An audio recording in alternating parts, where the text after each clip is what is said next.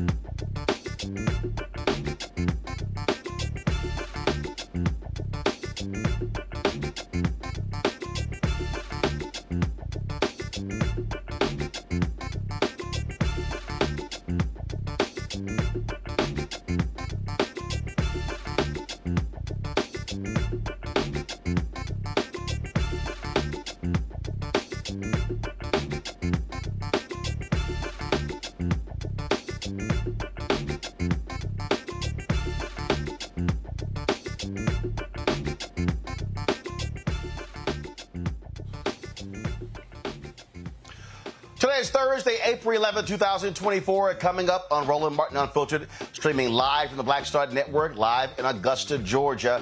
O.J. Simpson, one of the greatest running backs uh, in college and in pro football history, has died at the age of 76. He also is remembered by many folks who believe that he was responsible for the death of two people, including his ex wife, Nicole Simpson. We will talk about the complicated legacy of O.J. Simpson.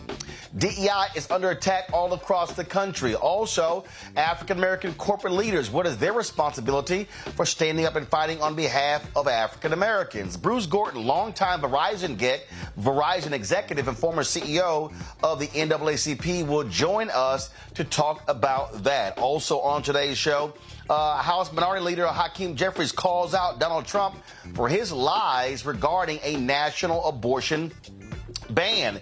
And the white police officer in Ohio who shot a black teen with a fake gun was fired three years ago, but negotiated to get his job back.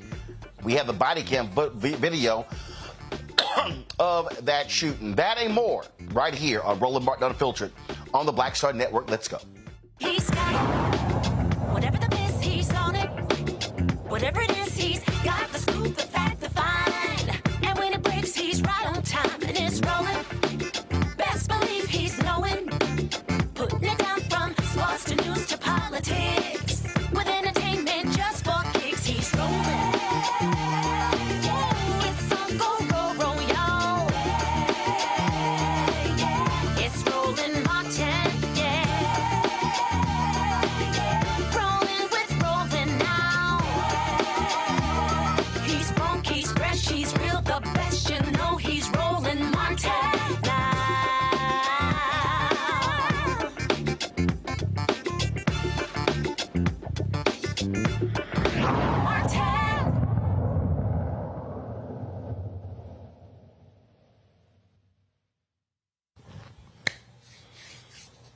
Right, folks, uh, welcome to uh, today's show. Uh, Republicans are freaking out all across the country over the issue in Arizona where the Supreme Court there declared uh, an 1864 law to be constitutional that criminalizes uh, abortion. Now, individuals who literally voted for it, who endorsed various bills. The governor who actually expanded the Supreme Court in Arizona is now saying, "Oh my God, oh my God, uh, we have to change this. This is this is not good." Sean Hannity was on the Fox News going, "We've got to get rid of this law." Why are Republicans now freaking out about abortion when all they've tried to do since 1973 was to get Roe v. Wade overturned, and they did with a Dobbs decision? It's because they've been losing. Especially, there's a ballot initiative in Kansas. They lost. In Ohio, they lost. The Florida Supreme Court is going to allow a potential uh, ballot initiative to go forward. Arizona may have a ballot initiative going forward. 10 states may have it. Even in Alabama, after the Supreme Court's decision there regarding in vitro fertilization, a Democrat won a state seat over a Republican over the issue of IVF. And so, don't you find it quite interesting that the very people who, one, said they wanted a national abortion ban are now all retreating and oh no, that's not what we want. Let me bring in my panel right now. Reecie Colbert, host of the Reecie Colbert Show, Sirius XM Radio, out of Washington, D.C. Greg Carr, Dr. Greg Carr, Department of Afro-American Studies. Howard University, Washington, D.C. will be joined in a bit by Lauren Victoria Burke with Black Press USA uh, out of Arlington. Reecie, I'll start with you. I, it was it was laughable to me, and guys in control room, y'all see if I can get the video of Sean Hannity saying We've got to overturn this law. Republicans in Arizona going, ooh, the legislature's got to fix this thing. Kari Lake saying, oh, I disagree with this decision, even though she's on tape supporting this decision. They are freaking out because they have seen that when abortion and a woman's reproductive rights is on the ballot, they lose. And they are scared to death of this becoming a dominant issue and them losing in Arizona in Florida, and other places across the country. Well, they absolutely should be scared, but I'm not buying this freak out at all as any kind of pivot in their policy. Even as all of this uh, uh, this this freak out is happening in terms of the media and the political conversation that Republicans are having, Republicans in the state of Arizona, which now currently has an 1864 uh, abortion ban, are refusing to allow legislation on a repeal of this ban. And so, irrespective of what people are saying and irrespective of the posturing that's changing, the policy that has been enacted time and time again in these Republican states is consistent with this abortion ban. It is not even of the most extreme abortion bans in the country that have been ushered in in the 2020s. And so, I'm not buying it one bit. And I think to be honest, anytime that we give an inch in the notion that Republicans are pivoting is helping them because the reality is political posturing is not the same as a policy change. And i think that republicans if given the chance will will do exactly what they have consistently done on the state level when they're in charge at the federal level including donald trump. And on that point right there greg you all of a sudden you've got uh, all of these folks uh, and, and, these media folks falling for the okey doke. Oh, Trump is changing his language. He's not changing his language. He's saying the exact same things. In fact, uh, a House Minority Leader, Hakeem Jeffries, is calling him out on this very issue. Here's what Jeffries said Donald Trump is lying. This is an individual who has said, along with the other extreme MAGA Republicans, that they are proud to have taken down Roe v. Wade. Donald Trump put three Supreme Court justices in place, several of whom, in my view, misrepresented their position before the United States Senate, claiming that Roe v. Wade was settled law. And then the first opportunity they had took Roe v. Wade down and put the women of America in a position where abortion care has been criminalized in state after state after state. The extreme MAGA Republicans have been very clear. They do not believe in a woman's freedom to make her own reproductive health care decisions. The only reason the former president is claiming to be for states' rights is because he knows he's not for women's rights when it comes to reproductive freedom. And he recognizes that he's in a politically vulnerable position. But there is absolutely zero reason to believe that the extreme MAGA Republicans, the first chance that they had with a Congress controlled by right wing conservatives, and God help us all, a Republican president would not impose a nationwide ban on abortion. It's what drives a significant number of the Republicans who are part of their base. If Roe v. Wade can fall after nearly 50 years, everything is on the table. And it's not just reproductive freedom, it's Social Security, it's Medicare. And many of us believe it's democracy itself. Greg, I mean, call it what it is. And and this is when you have these folks in the media who play these silly little games. Donald Trump is very clear. Republicans are very clear. Oh no, he's changing his language. He's softening. No, they are as hardcore on reproductive rights. And what Congressman Jeffries did right there is absolutely right. Call it what it is. Absolutely. Um, I agree with you, Reese. Uh, there's no policy pivot this is the end game for the 60 year war that began with the passage of the civil rights legislation of the 1960s. And as we have you talked about many times, uh, the campaign of Barry Goldwater in 1964. This is they've they've reached the end game stage now. Much like Heath Ledger playing the Joker in The Dark Knight, when he said, "You know, I'm like a dog chasing a car. I don't know what I would do with it once I get caught. I just do things." they are now victims of the chaos theory that they foment. Uh, they don't have an ideological center. What they have is a problem winning elections. There are theocrats in the United States of America who will vote for them faithfully, who don't care that Donald Trump is, uh, for that matter, his behavior is more like the Antichrist than the Christ. They don't care about that because they're on with Christian soldiers, but that's their base. And in order to pander and cater to their base, they have to embrace this kind of policy. Now, since the nomination of Judge Robert Bork, of course, to the Supreme Court, the failed nomination, uh, presidents and, and, and court nominees have taken the strategy of saying they don't know how they would rule. George W. Bush, as we remember, lied through his teeth when he uh, nominated John Roberts and said, "Oh, I don't have an ideological test." They've dropped that pretense as well as, as you say, with Donald Trump. Now, with all due respect to uh, Congressman Jeffries, I understand Leader Jeffries has to say what he's saying, and it's absolutely true. The simple fact of the matter is that none of it matters because in electoral politics today in America, all that matters is you just tell the lie and keep repeating the lie, and that's again why mass news entertainment media is bankrupt because their stake in this is entertainment.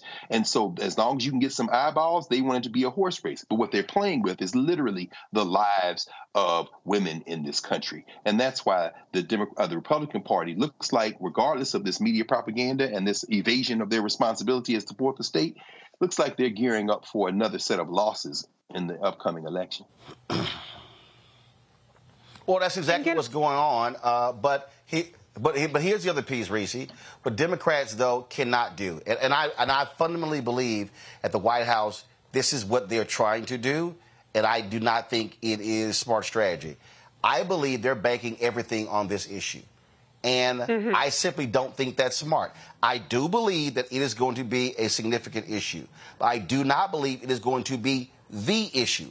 They still better have proper messaging to African Americans on what it is that you want to get done. They still better have better messaging when it comes to uh, the economy. But if they are putting all their eggs in the one basket on this issue, uh, they they may get let down.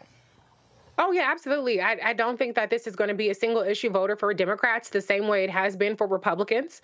I think a lot of Democrats are still taking for granted the dangers that reproductive freedoms are in. I think they're taking for granted the the uh, the the the persistence that Republicans will continue to show in terms of not just overturning abortion rights, but other things that Republicans have obstructed from being enshrined into law is the right to contraception, which is something that the Democrats tried to do and it was blocked. The right to IVF after the Alabama Supreme Court case, uh, they tried to make a movement on that in Congress. That went nowhere. And so this is bigger than just abortion itself. There's a number of ways that Republicans are still successfully attacking all sorts of reproductive freedoms. I think that Democrats have to expand their messaging to really drive that point home. But surveys have shown and polling has shown that the number one issue for voters is the economy, is jobs, and inflation. And so this is not going to be the slam dunk. It's not going to be the home run. Maybe it will help on the margins,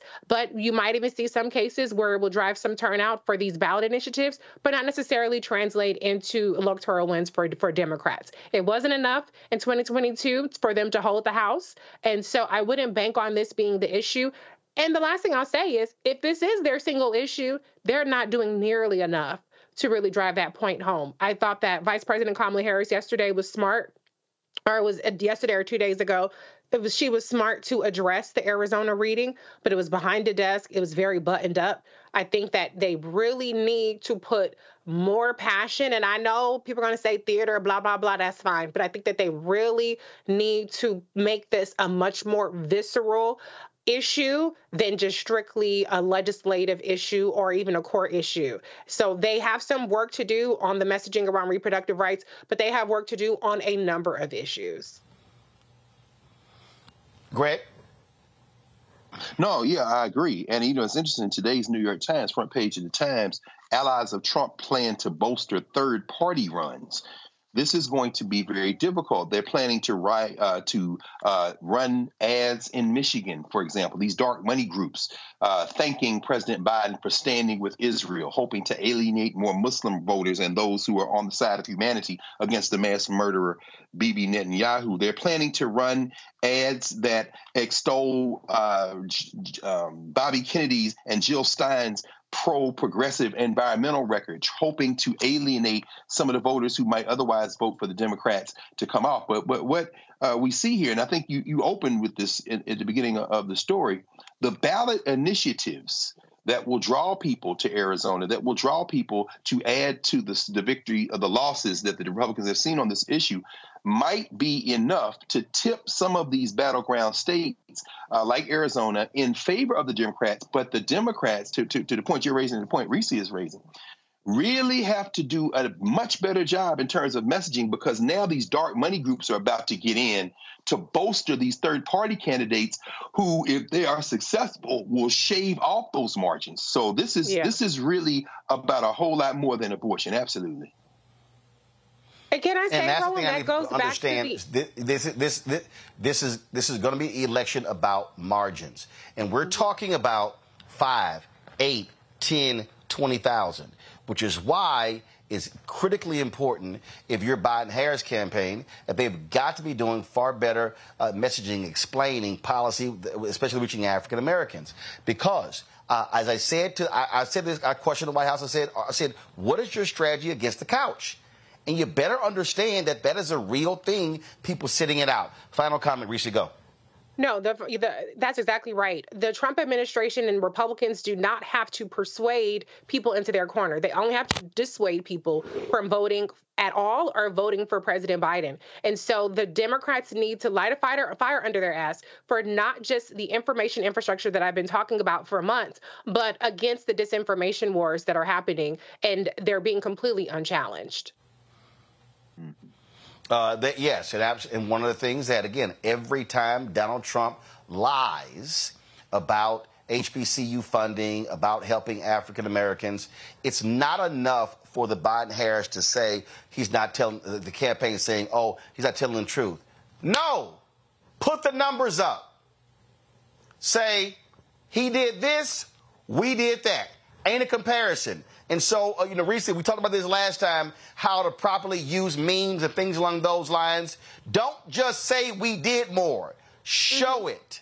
Show yeah. it. And when he lies about opportunity zones, again, I've been asking, I asked the Trump White House for it. No one could give me an answer on what has been the economic impact of opportunity zones because they do not have an answer. And so, Yeah. again, let's see if any of these folks, uh, you know, again, Jen O'Malley, Dillon, uh, Anita Dunn, all y'all running the show, y'all might want to listen to the folks out here who are talking to the people every single day on the ground and know how to connect with them. Hashtag just saying. All right. Hashtag going to a break. invest We come back. with us as well. Uh, uh, yes, absolutely, uh, and not pennies. All right, we come back, a lot of attacks happening across the country against DEI, against black corporate interests, various programs, uh, you name it, is happening. What should be the responsibility and the response and the action of black corporate executives?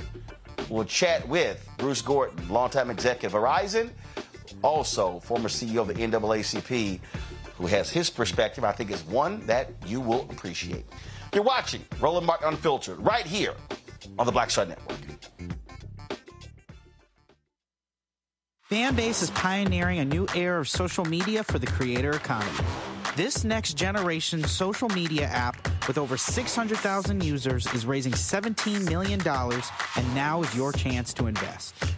For details on how to invest, visit startengine.com slash fanbase or scan the QR code. Another way we're giving you the freedom to be you without limits. Janet actually called me and she said, Do you remember us having an argument in the studio, whatever, whatever? And I said, No, not really. Because we never argued in the studio. Uh-huh. And she said, Well, there's this piece we found, and can I, uh, can you come over and watch it with me? And I said, Sure. And I went over and watched it, and I loved it. I just started laughing. I said, This is great. This is great, Janet. And she said, Okay, so you're okay with this? I said, Yeah, I'm fine with it. Because literally, we worked together for, I mean, I don't know how many days we've been in the studio together. And literally, we had maybe one argument like that. Right. And it was captured. But of course, that's the thing that, you know, absolutely people want to see.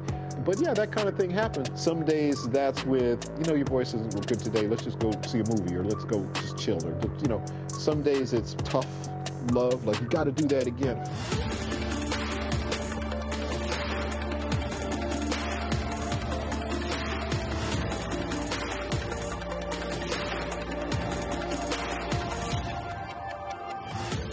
Uh, this is Reggie Rock Bythewood. You're watching Roland Martin, unfiltered, uncut, unplugged, and undamn believable. You hear me?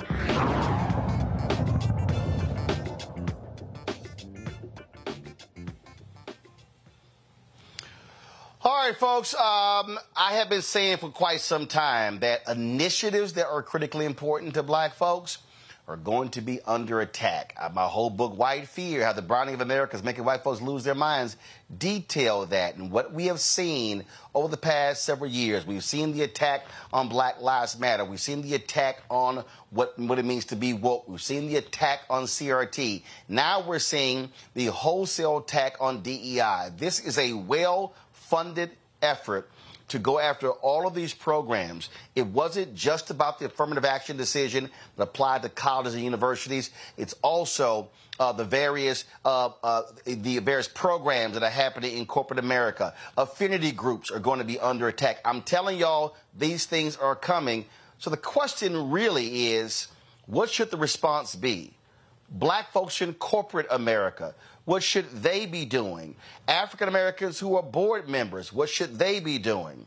So I had this conversation uh, with my man Bruce Gordon, who's longtime executive at Verizon. When he retired from Verizon, he became president and CEO for the NAACP. Lasted there a year. I really think they made a huge mistake, uh, really not leaving him at the helm uh, for longer than that. He joins us right now. Uh, so glad to see you, Bruce, uh, to chat about this. Um, first and foremost, um, how do you, just from your perspective, as someone who has been at the top, the top of the game in corporate America, you you you sat on boards of directors, uh, you're interfacing. Wh- what are you hearing from uh, folks? Are they are they willing? Uh, are they are, are they do, do they under do they understand? What the attacks are and what we're about to see over the next six months, a year, two years. So, Roland, uh, thanks for having me. One. And two, let me just take that word perspective and put a little context, more context on it. because my perspective is a product of 53 years in the corporate environment. My perspective uh, started in 1968 as a trainee.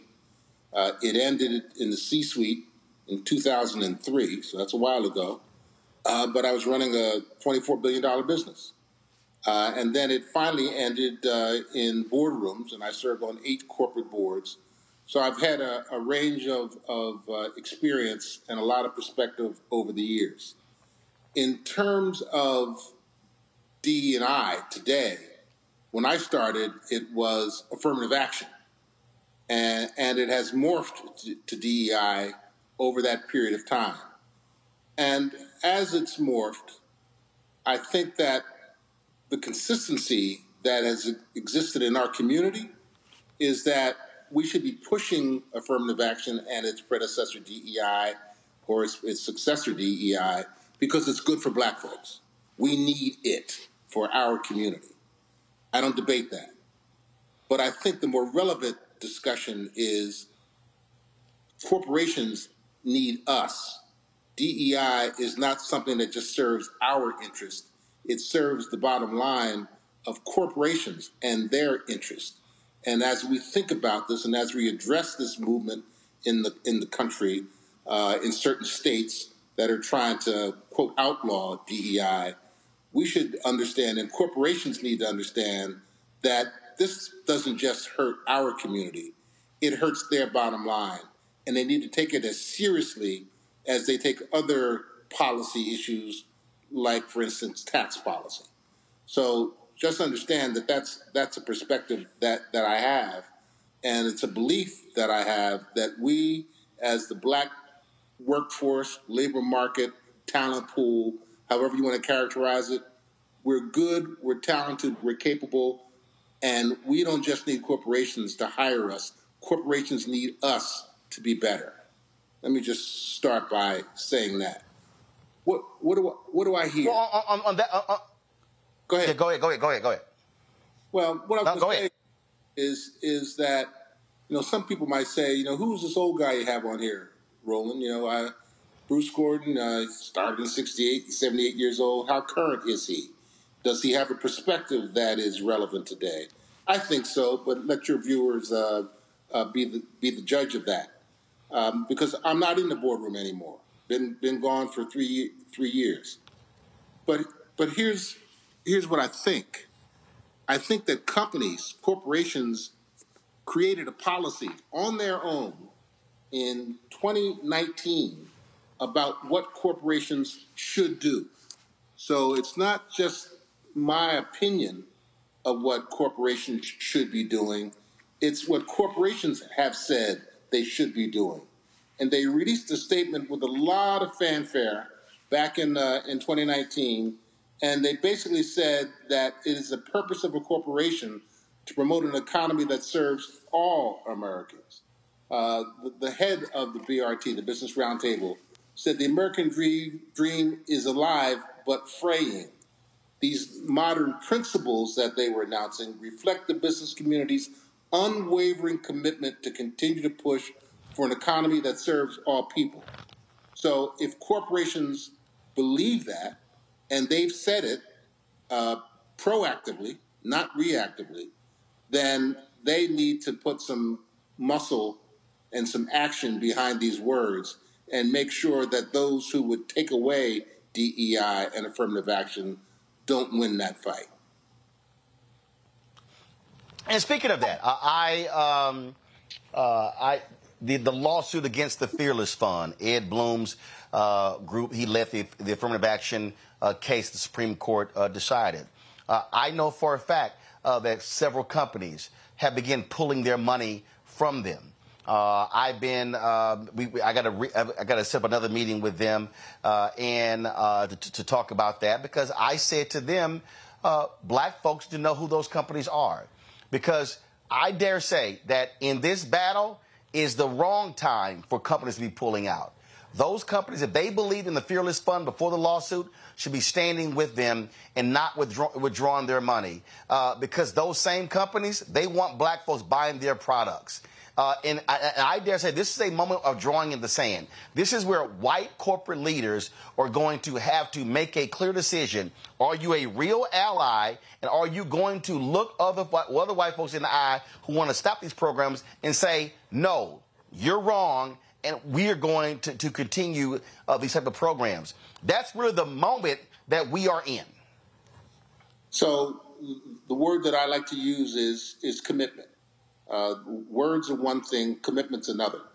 We we have seen corporate corporate leaders, we have seen corporations who identify what they believe to be policies that are not in their best interest. We have seen those corporations go to the mat.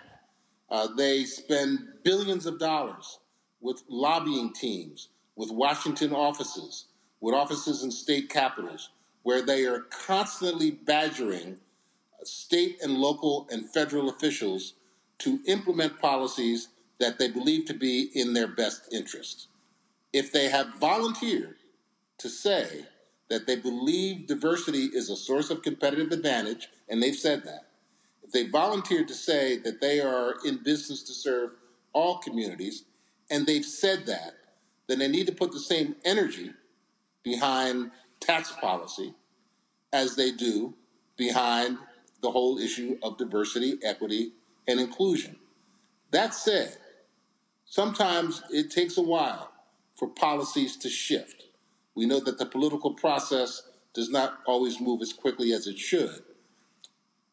While corporations were waiting for tax policy to, to go their way, they were also finding ways around it. They have they had an effective and have an effective tax rate versus an actual tax rate versus a legislated tax rate. They found ways around it. They have tax accountants, they have tax attorneys, and they learn to manage their way through restrictions that are not in their best interest. They need to apply that same degree of commitment and energy towards addressing this issue of diversity in America. I think some of them have the stomach for that. Others may not. And I think where you were headed was what's the role and responsibility of black folks who are in the C suite, who are in the boardrooms? What's their role in all of this? But you tell me, should we go there? Because that, that is the thing for me. Uh, I've directly said uh, to Michael Hyter, who heads the ELC, Mike, we need you leading. We need the Black Economic Alliance. We need the Black Economic Forum. I'm gonna. I'm just gonna go ahead and say it. I'm sorry. I am not seeing civil rights groups um, being effective on this. This is where our black corporate groups, ec- folks that deal with economics, the U.S. Black Chamber Inc.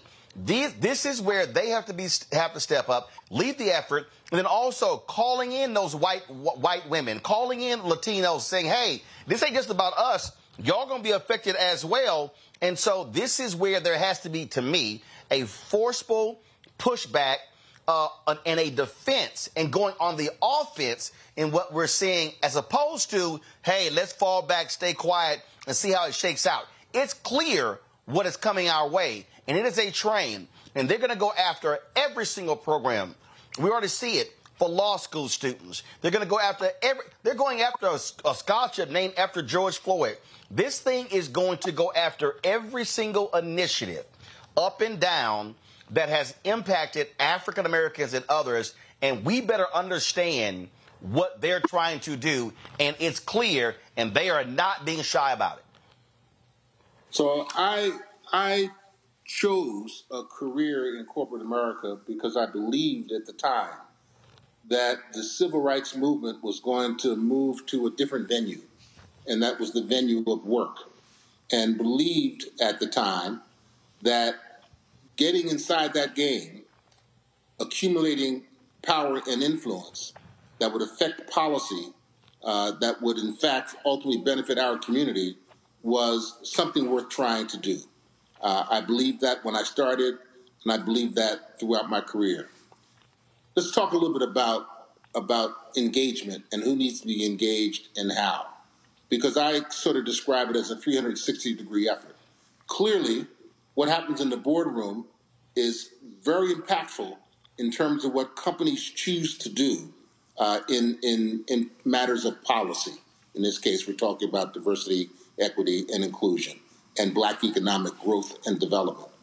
So the boardroom matters, the C suite matters, and the workforce matters because you just referred to affinity groups. Affinity groups, if functioning the way they were initially intended, and I consider myself to be a, a founder of that whole affinity group concept, all of those parties need to be engaged. Um, so, and and the difference between life in corporate America in '68 versus 2024 is that we have presence. We have black CEOs. We have black C-suite members. We have black board members, and the workforce looks a lot better in terms of our representation today than it did then. So we might argue that we don't have all the power we want, but we have one hell of a lot of power, and it's time to step up and use it. Don't say you want to be in a boardroom if once you find your way in there, you are going along to get along. Take a strong position. Don't say that you want to be in the C suite if once you get there, you collect a paycheck, but you forget whose shoulders you stood on to arrive there in the first place.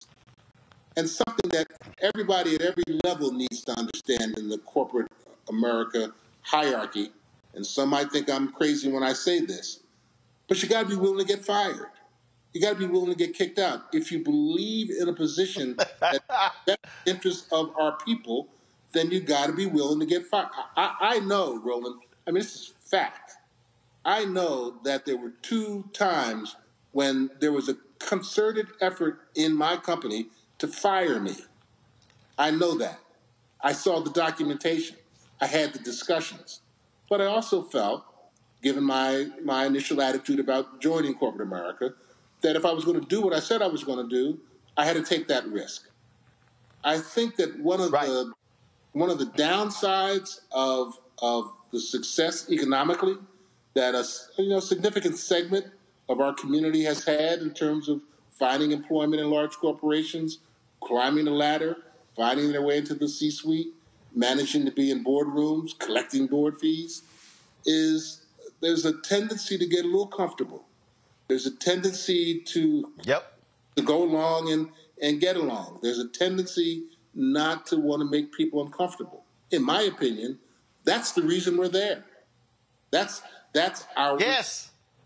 So there is, and I, I don't want to sound the least bit judgmental, because I know plenty of folks who are doing just that. Maybe not as many as I'd like. Maybe there's not 100% participation, but there are plenty of folks who understand who they are, where they are, and what their roles and responsibilities are. And to your point, we need those folks now more than ever. The reason I started laughing because I've often said uh, I, I started every job with the premise I was going to get fired anyway. Uh, I said, listen, three things can happen. Either you leave, you leave on your own volition for another job, uh, you stay there until you're retired, or you get fired. And I've always said, look, I'm gonna say what I need to say while I'm there. I always say I could I couldn't stand parking lot militants. And that's the black folks who got a whole lot to say when you're in the parking lot, but then when you go in the building, they ain't got nothing to say. Then you like, you look around and like, well, what, what the hell? I'm the only one talking. I, you were talking all that smack in the parking lot. Don't be a parking lot militant. And, and the thing about when we talk about not just the sweet, sweet C-suite folks, but also board members. And, and I've had this conversation with John Rogers and others as well. And I'm sitting there going, black folks fought like hell to get black board members. John H. Johnson and Earl Graves and Reverend Jesse Jackson Sr. and so many others. And and I've said to black board members, if if if if black folks are not getting more contracts, professional services, outside law firms, outside accounting firms, you got black uh, catering companies, black owned media, black PR companies. We can go on and on and on. I'm like, if you are not, if you have not had a material impact on increasing business to black people, then what are you doing? And it's not just you there to collect stock options and you feel good and you get to send your kids to private school and you only benefit. And, and that to me is, I, I think, I think black board members today uh, must you know must have that reminder of while you're there, what changed while you were there. And it's not just a question of, well, I, I really can't do much. I, I said, no, you can do a lot more if you want to. And I think we have to be constantly challenging one another to say, we must be uh, uh, doing more beyond not, as Dr. King said, not as individuals, but operating in the collective.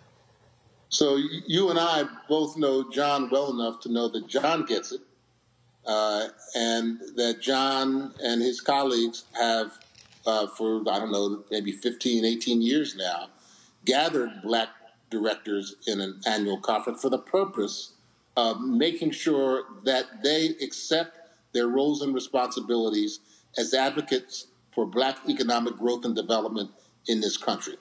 Um, so, so there clearly are those who get it.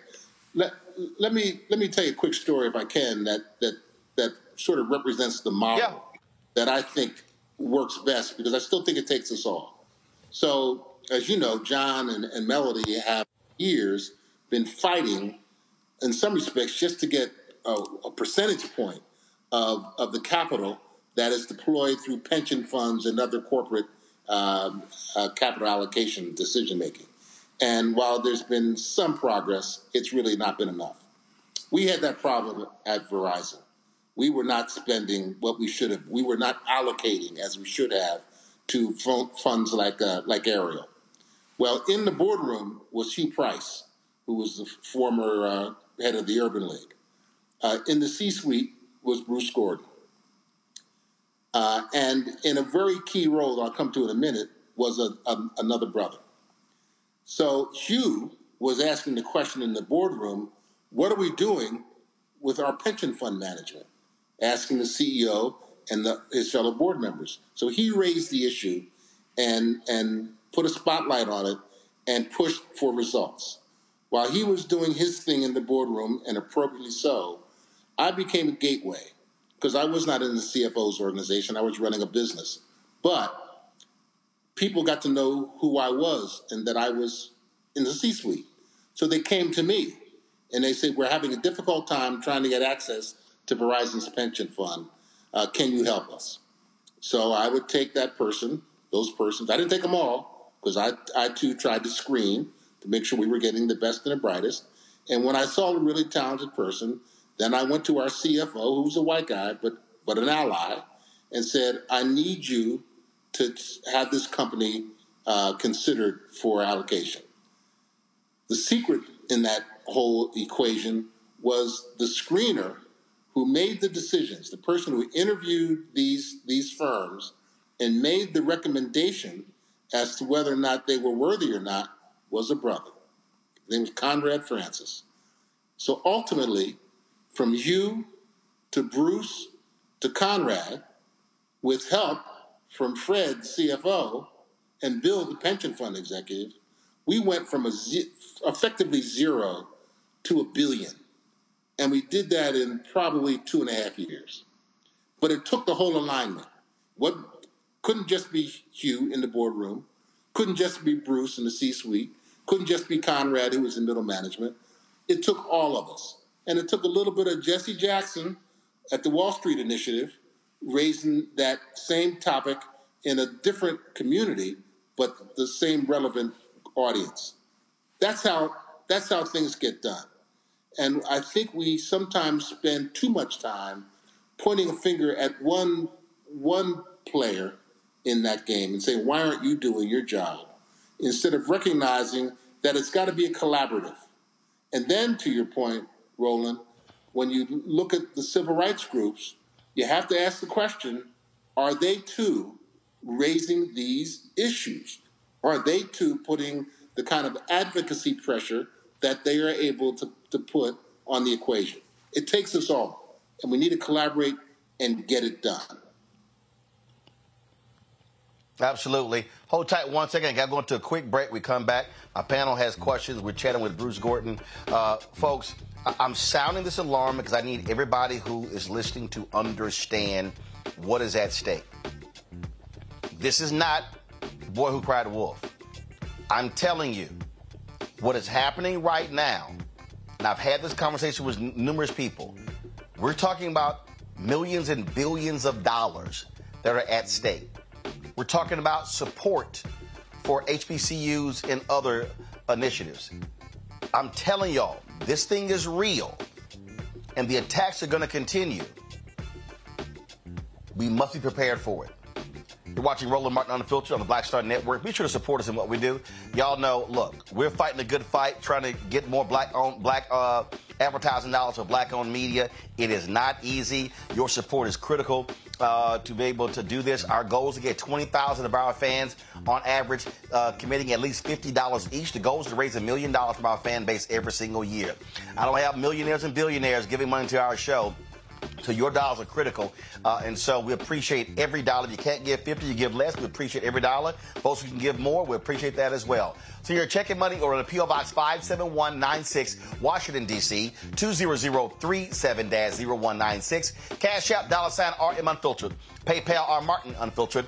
Venmo is RM Unfiltered. Zelle, Roland at RolandSMartin.com. Roland at RolandMartinUnfiltered.com. We'll be right back. Next, on the Black Table, with me, Greg Carr, a conversation with Professor Toyin Falola, a man described by many as an African intellectual legend. He is without a doubt the most important and prolific writer, thinker, teacher, and servant of African studies in the modern world. And then today, we have George Floyd, the Black Lives Matters, and the re-emergence of radical black thought. We're honored to welcome him to a very special, can't miss episode of The Black Table, only on the Black Star Network. Fanbase is pioneering a new era of social media for the creator economy. This next generation social media app with over 600,000 users is raising $17 million, and now is your chance to invest. For details on how to invest, visit startengine.com slash fanbase or scan the QR code. Another way we're giving you the freedom to be you without limits. What's up? Geek Tony in the place to be. Got kicked out your mama's university, creator and executive producer of Fat Tuesdays, an air hip hop comedy. But right now, I'm rolling with Roland Martin, unfiltered, uncut, unplugged, and undamn believable. You hear me?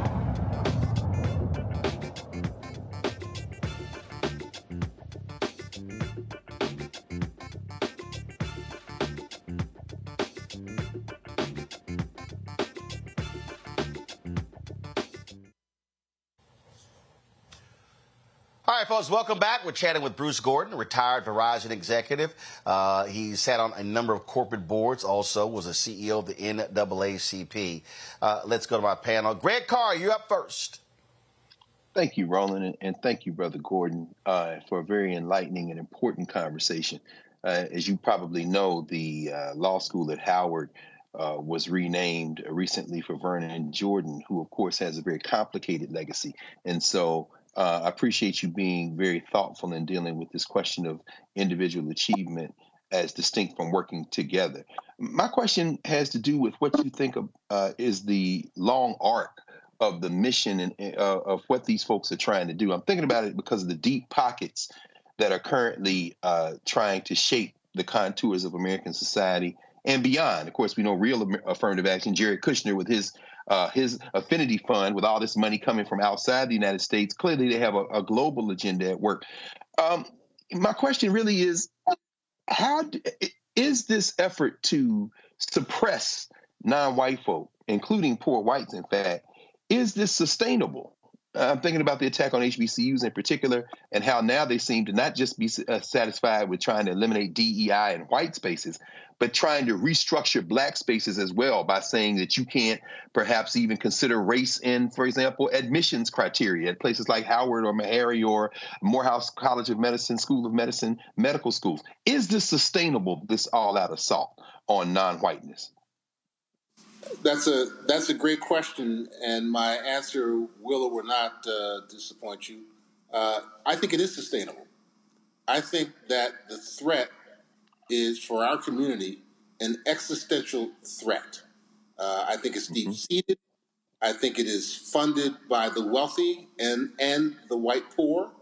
It- It's, it is a coalition with incredible power and influence. And yes, I think it is sustainable. That doesn't mean that I think we can't come out on top. That doesn't mean that I don't think we can we can do something to to curb and reverse their momentum. But we should view it uh, very with, with with enormous concern. I don't think Roland is is being hyperbolic at all with how he's described the circumstance. Um, but you know, the, the question becomes, what's what's at the root of it? Why? That's complicated, but to say the least. But I think there are two things in play uh, that that end up sort of complementing each other. I think for those who have achieved some level of wealth uh, in this country uh, and who believe in their right to pass on their wealth to the generations that follow, it's an economic issue. And they believe that to the extent that they control the economy, they control wealth distribution, they have policies in place that uh, protect them, so to speak, secure them, that um, that's, that is ultimately an outcome that they desire. So, so to be fair about this, I don't, I don't think all white folks are like that, but there are plenty. So that's that's one thing. The other thing, uh, and call me crazy, but we we we on this call, we know how this country was founded, uh, and we knew who was in charge and who was in the fields.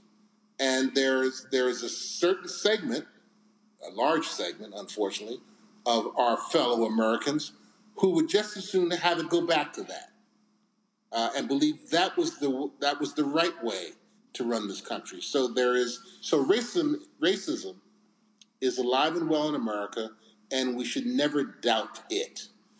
The battle for wealth and the retention of wealth and the distribution of wealth is also alive and well. And I think it's those two things that sort of collaboratively uh, create the momentum that puts this at risk. So yes, I think to the extent that that these these two forces continue to collaborate, um, it's a sustainable movement, and we should be worried about it. Not undefeatable, but um, certainly sustainable.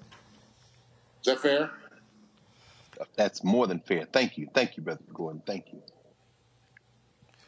Reese.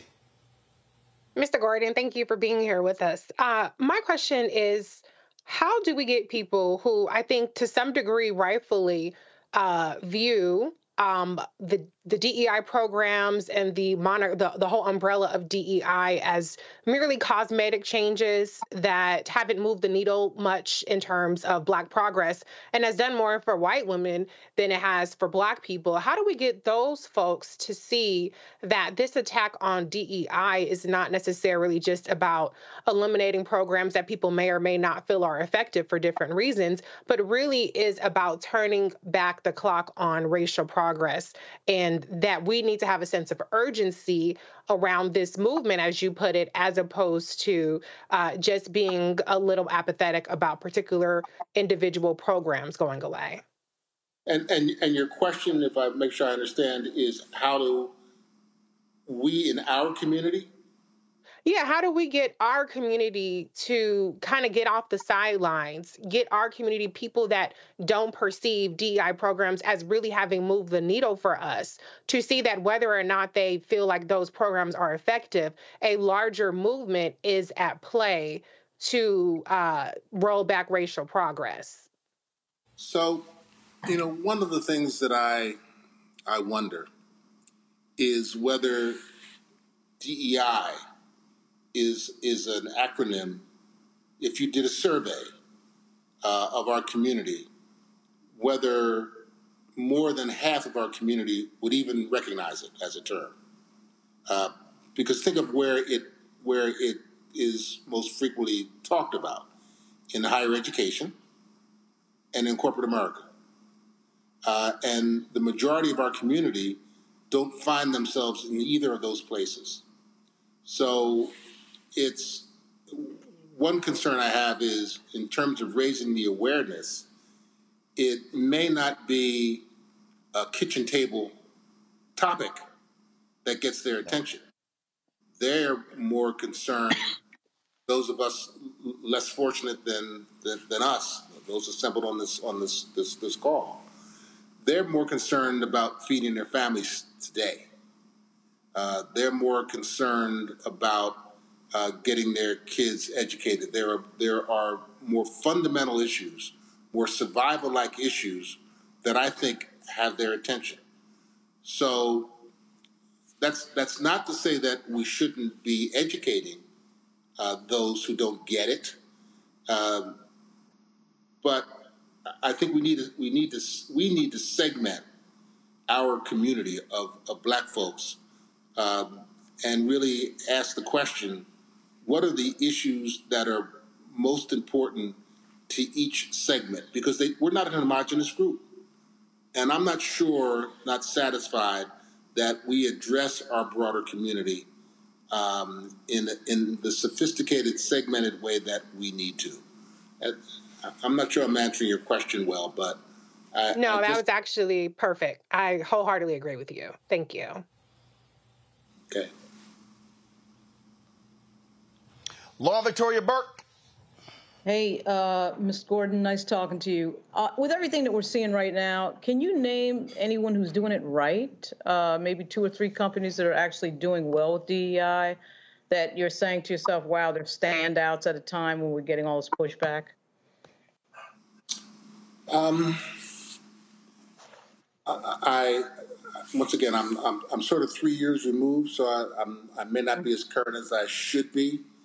Uh, I, let me say two things. One, uh, I do worry that as a general trend, uh, people in my generation, so people who, who left corporate America in the last 10, 15 years, were beginning to worry that the pipeline of black talent um, coming behind us to succeed us, we were uh, concerned that th- there wasn't en- en- enough there, not because there weren't qualified people, but because those pipelines weren't being cultivated as aggressively as they needed to be.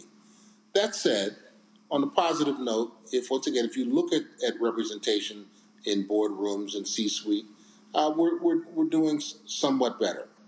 So who who has been doing it well? Uh, I will tell you that uh, that Verizon has had a good track record. Um, if you if you look at the diversity on the Verizon board, it's as diverse a board as as any that I that you'll see anywhere in the country. If you look at their senior team uh, and look at recent appointments, it's moving in the right direction. Their lead independent director is an African American. So I'm sure I'm biased, and I'll acknowledge that. But Verizon has a pretty good track record. Um, I looked. I, I served on the board of, of Northrop Grumman. Uh, I, that company, when I arrived there, in my opinion, was not as progressive as it needed to be. Uh, the CEO who stepped in shortly after my arrival uh, made an absolute and total commitment to diversity.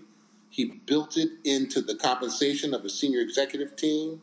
He established very specific, measurable outcomes that would affect the bonuses of his senior executives based upon whether they were achieved or not.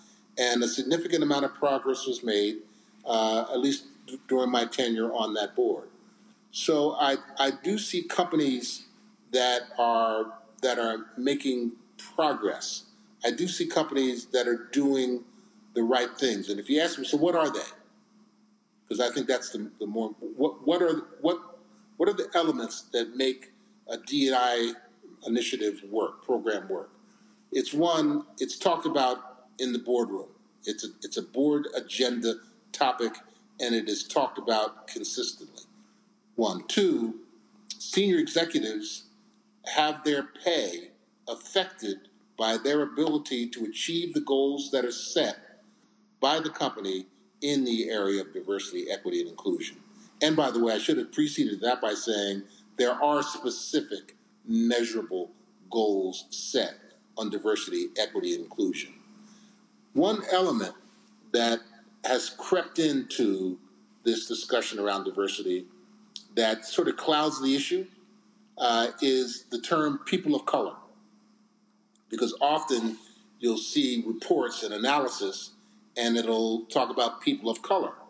And they're all lumped into one category, which is an easy way to present, interpret the numbers to suggest how well an organization is doing. And companies, some companies, were starting to understand that and starting to disaggregate people of color so that you could be very specific about progress made with, with black, brown, and yellow people. So those are some of the techniques uh, that I think matter. At the end of the day, pay for performance is a, is a big factor in getting companies and leaders of companies to take diversity, equity, and inclusion seriously. I hope that's helpful. Well, one of the, well, one of the things that one of the things that I've made. Uh, go ahead, Bruce. I'm sorry. I was just saying, I'm, I'm, I'm, what I'm about to say, I'm saying too late. Uh, but you guys make me feel like an old man when you say Mr. Gordon. So Bruce, Bruce is, is, is good with me. Go ahead, Roland. Well, uh, trust me, when people call me Mister, I say this. I say, listen, I'm Roland. My daddy is Mister Martin because uh, uh, he's 77 this month. I'm 55, so I understand. I understand uh, your point. Uh, here's the thing that uh, that in, in, final comment because one of the things that I have been doing is, and, and you know, we're, we're, still trying to get the Black Economic Alliance on the show. I made it clear to Michael Hyter, look, EOC want you on the show and the rest of these people because I, I know what I'm seeing. I know what I'm hearing. And I, under, I understand the landscape because I also understand history.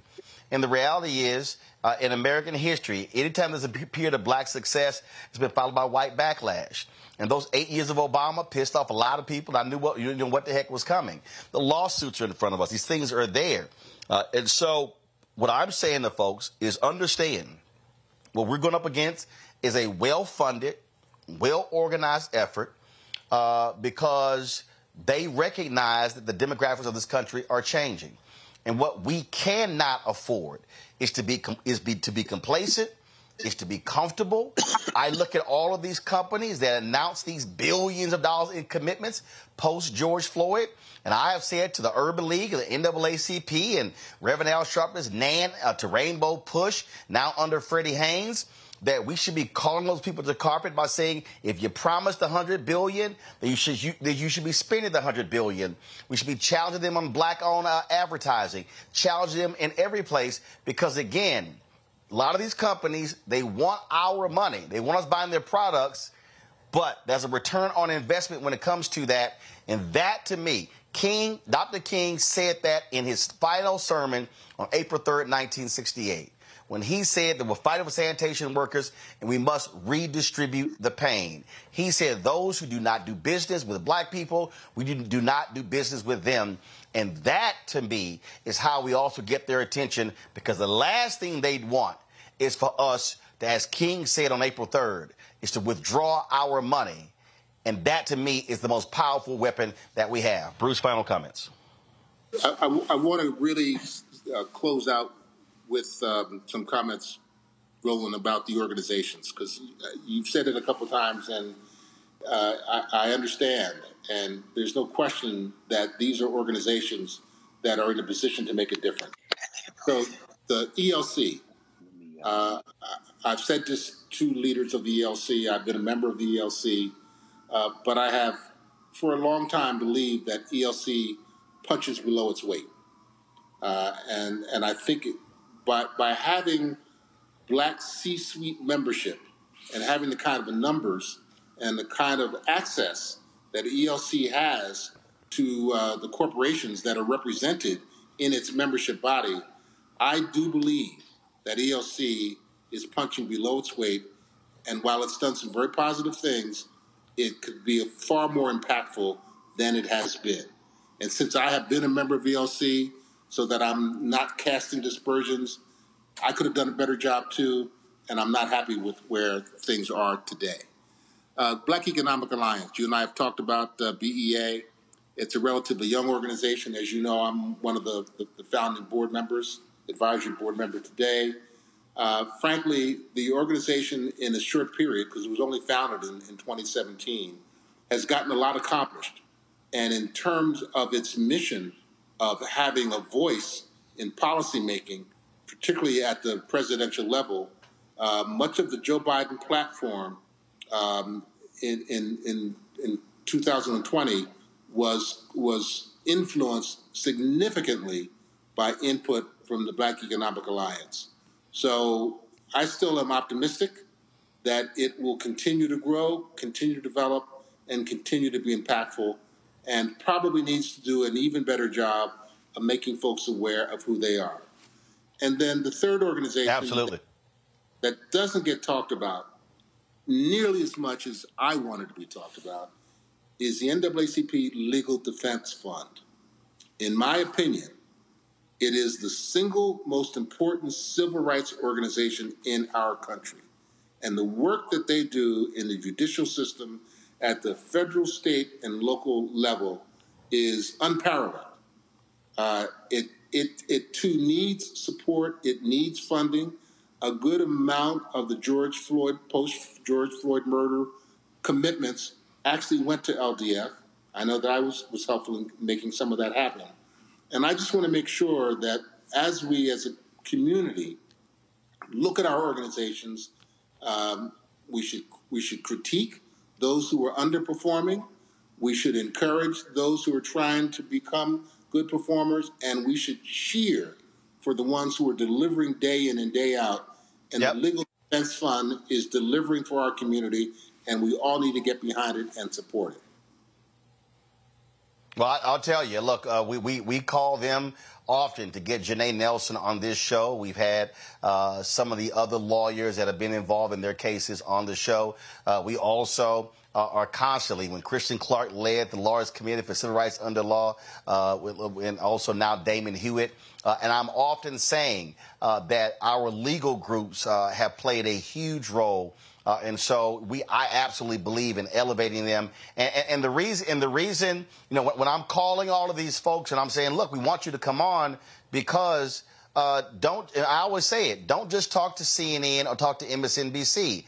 Our people need to realize that these groups exist and the work that they're doing.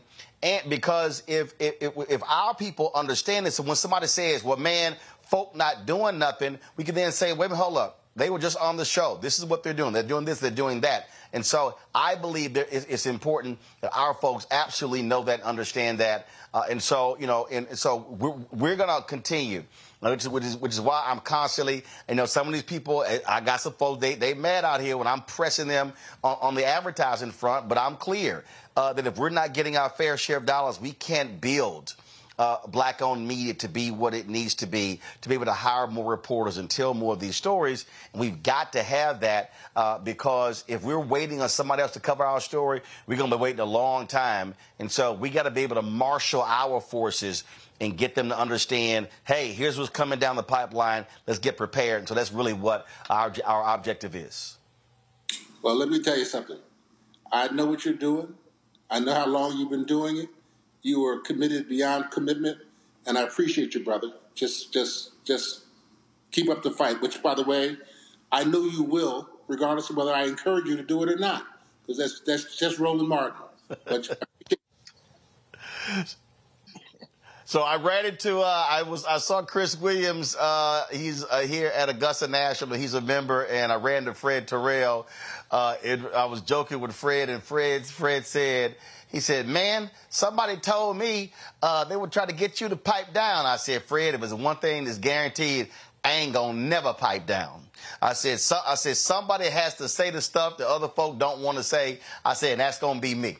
So, uh, and, and he just busted out laughing at that. Bruce, no, I appreciate it, man. Thank you so very much. My pleasure, Roland. Be well. Thanks a bunch. Folks, got to go to break. We come back. We're going to talk about this shooting in Ohio uh, with this body cam footage now being released. Also, we are we're, talking about the death of O.J. Simpson, died of cancer at the age of 76. We'll be hearing from Carl Douglas, who was on the Dream Team, the legal team in that case, and also Marc Watts, uh, former CNN correspondent, covered that case. Complicated legacy, O.J. Simpson, and a lot of people who are even expressing their uh, thoughts on social media, being attacked for even offering condolences to his family. We will talk about Orenthal James Simpson right here on Roland Martin Unfiltered on the Black Star Network. Hatred on the streets, a horrific scene, a white nationalist rally that descended into deadly violence. White people are An angry pro-Trump mob storms the U.S. Capitol. We've seen We're about to see the rise of what I call white minority resistance. We have seen white folks in this country who simply cannot tolerate black folks voting. I think what we're seeing is the inevitable result of violent denial. This is part of American history. Every time that people of color have made progress, whether real or symbolic, there has been what Carol Anderson at Emory University calls white rage as a backlash. This is the rise of the Proud Boys and the Boogaloo Boys. America, there's going to be more of this. Here's all the Proud Boys, guys. This country is getting increasingly racist in its behaviors and its attitudes because of the fear of white people. The fear that they're taking our jobs, they're taking our resources, they're taking our women. This is white fear.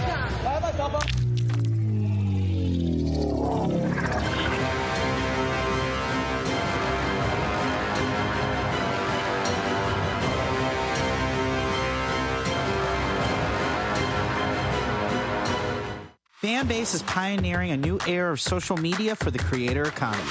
This next generation social media app with over 600,000 users is raising $17 million, and now is your chance to invest. For details on how to invest, visit startengine.com slash fanbase or scan the QR code. Another way we're giving you the freedom to be you without limits. Hello, I'm Paula Jai Parker. Trudy Proud on the Proud Family. I am Tommy Davidson. I play Oscar on Proud Family, Louder and Proud. Hi, I'm Jo Marie Payton, voice of Sugar Mama on Disney's Louder and Prouder Disney Plus. Plus, and I'm with Roland Martin on Unfiltered.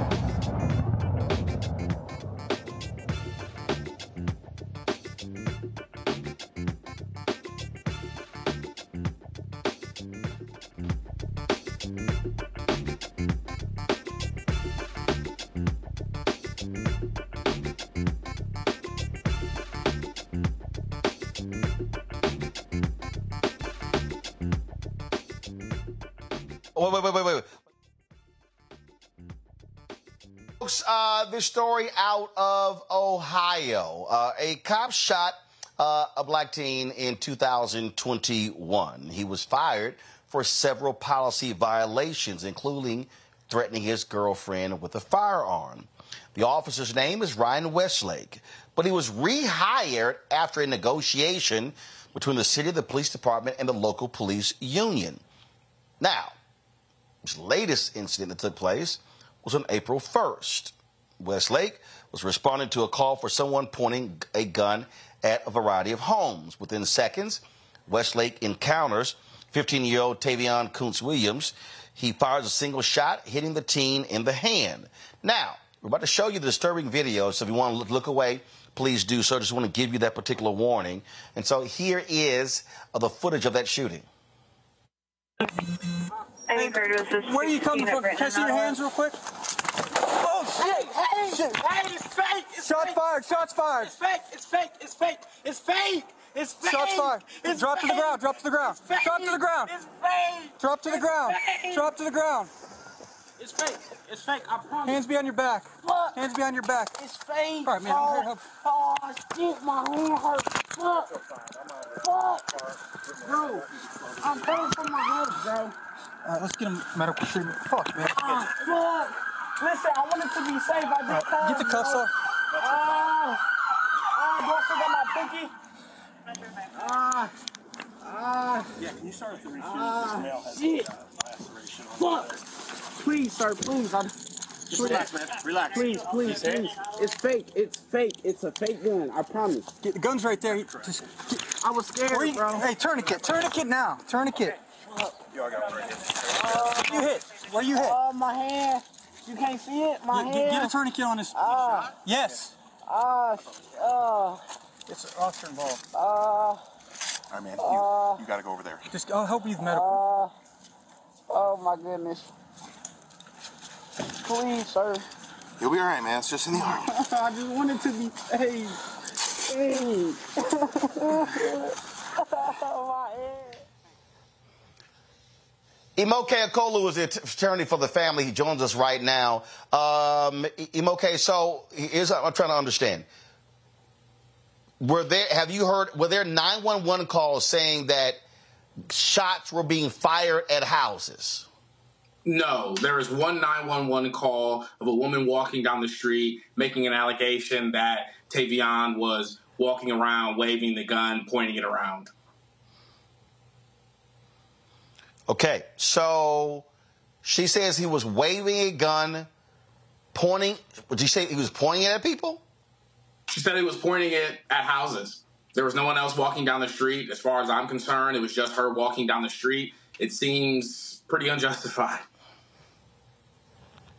Is is is um, Ohio an open carry state? Absolutely. Ohio is an open carry state and a permitless state. And so it's not a crime to walk down the street and have a gun.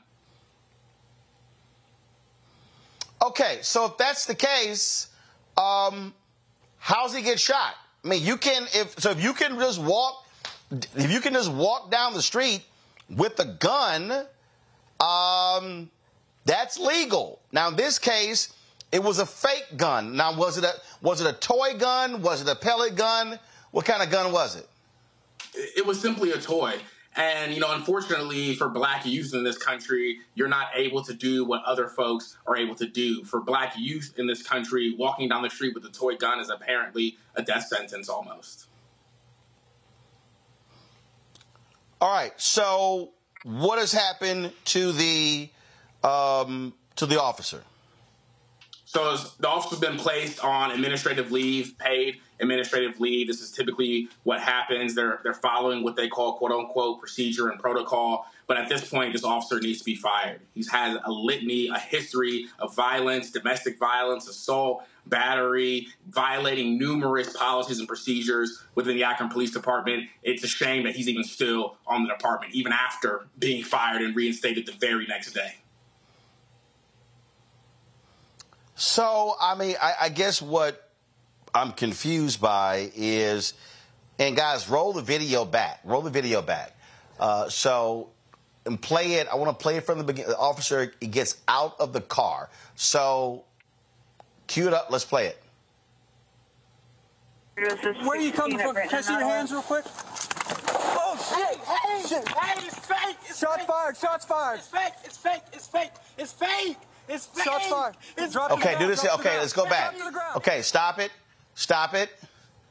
Stop it. Now, go back to the beginning because he pulls up. Is is he is he telling him show your hands at Where are you so coming from? Can I okay now audio up Oh, no no no no no no take it back I, I I need I need to hear what he says as he's rolling up because his window is down so now play it Hey, Where are you coming from? Can I see your hands real quick? Oh shit! Hey, Shit. hey, it's fake. It's Shots fake. fired! Shots fired! It's fake. It's fake. It's fake. It's fake. It's fake. Shots fired! It's Drop to the ground! All Drop right. to the ground! Okay, I- I- I'm okay. So this is where I'm, I'm now confused. He rolls up. He's not even out of the car. He barely opens the door. Then he fires a shot, and he literally says, "I need to see your hands real quick." It gives the impression that we don't see it. That he raises his hands. The moment he raises his hands, he fires a shot. It, it absolutely makes no sense, and that's the confusion that we all have. He did exactly what the officer asked him to do, and the officer immediately shoots. He's not even on the scene for seconds, and he's not even out of his car before he shoots at Tavion. It doesn't make absolute. It makes absolutely no sense. You know, Tavion did everything he possibly could to be safe in that situation, yet he still shot. Wow. Um, we'll see what happens um, to this officer. Okay, we appreciate it. Thanks a lot. Thank you. Um, you know, uh, Lauren, the reality is this here, and I, I, I, hate to have to say it, but it's something black folks can't do. White kids can play with toy guns. If a black kid plays with a toy gun, he could end up in a, uh, he could end up in a casket. Yeah. I mean, thank God this young brother was only shot in the hand and wasn't killed, but we've seen other stories where young man was killed. Tamir Rice. Yeah, like Tamir Rice. Yeah, Tamir Rice was almost like the same type of thing. I think it was a seven seconds of, you know, delay there. But no, it wasn't rate, even seven seconds. It wasn't even seven seconds. What was it? uh, it was about three.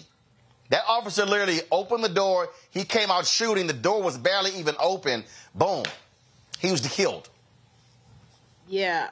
So the you know the bigger issue here is I think these police officers who have a record of that's suspicious with regard to overuse of force, getting jobs in other departments. There are a few states out there try, trying to pass laws with regard to this because it keeps happening uh, cops that get fired who have already had some violation end up on some other force. Um, but I will say this it is not particularly easy uh, to identify what really actually should be outlawed are these guns that are, are fake guns that actually look real. Because I don't think it's particularly easy to identify that thing that we saw on the screen that this kid had as a fake weapon when you initially see it I know there's some guns that have the plastic orange tip at the beginning. And we also know that this cop, we factually know that he has an extremely bad track record. But it is difficult if you put yourself in the shoes of the police officer to identify what is a real gun and what is not a real gun, particularly in a world, in a country that likes to hand out guns like candy and where we have more guns than citizens in the United States. But but but but the problem here, Reese, is that in an open carry state, you can carry a gun. Yeah, I mean, you can. Maybe in your holster, maybe in your back pocket. Like this. I don't know. Like when you get pulled over by the cops, I mean. No, no, no, no, no, no. You can there, walk around there, like there, there, have been videos. Yes, there know. have been videos oh, okay. of people with with guns just walking around, and it, it, it, you're not required to have it holstered. Okay. I, am going to look up Ohio. Go ahead. I'm going to look up Ohio and, uh, and see what, they, what, what their law says. Well, I'll just say this: I wouldn't walk around like this anywhere with a toy gun that looked like that. I wouldn't advise anybody to do that.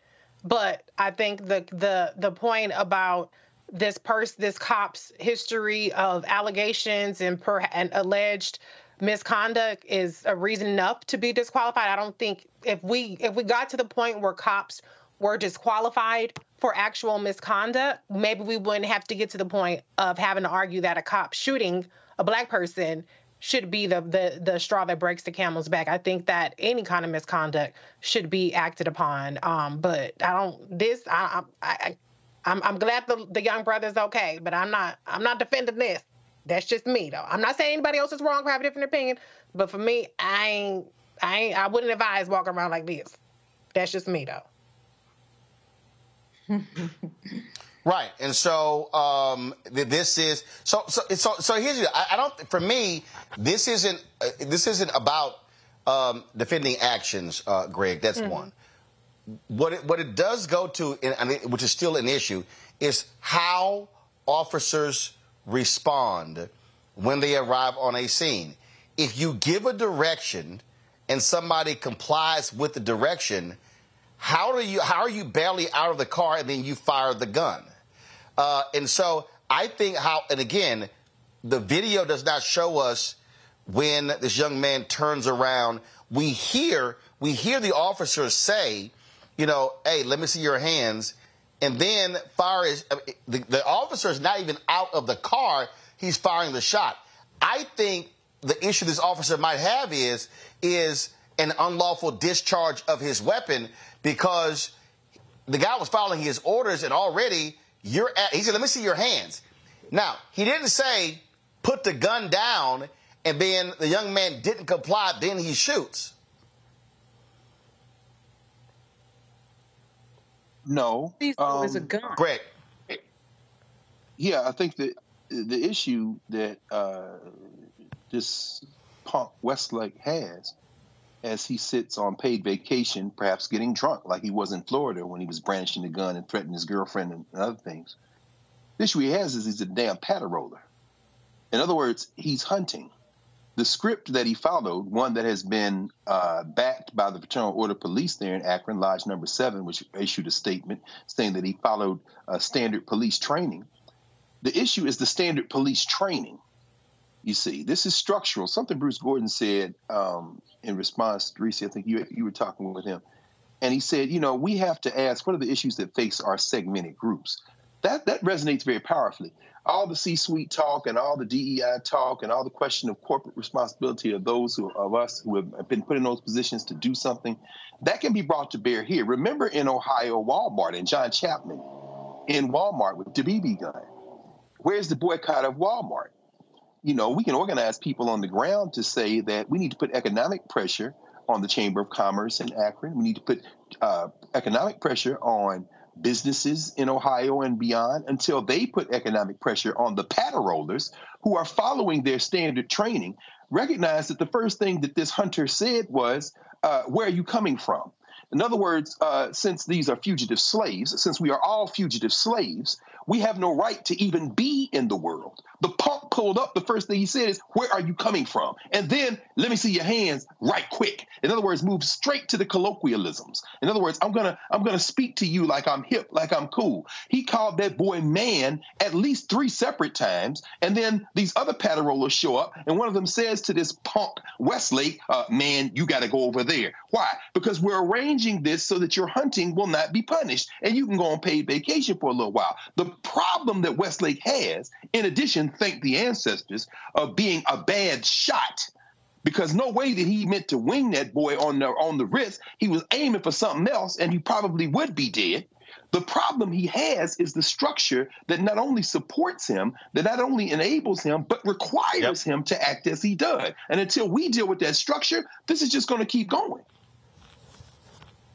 Uh, and you would mention the uh, holding the BB gun. That was John Crawford III, who was shot in a John Beaver Creek, Ohio Walmart, uh, and he was actually carrying carrying a gun in the store that was sold at that Walmart. Got to go to the break, folks. When we come back, Orenthal James Simpson, O.J. Simpson, dies at the age of 76 to cancer. Lot of expressions regarding his death. Some saying condolences to his family. Others have said OJ can rot in hell. Be joined by uh, Marc Watts, who covered the OJ Simpson trial, uh, as well as Carl, Carl Douglas, who was one of the attorneys, right here on Roland Martin Unfiltered on the Black Star Network.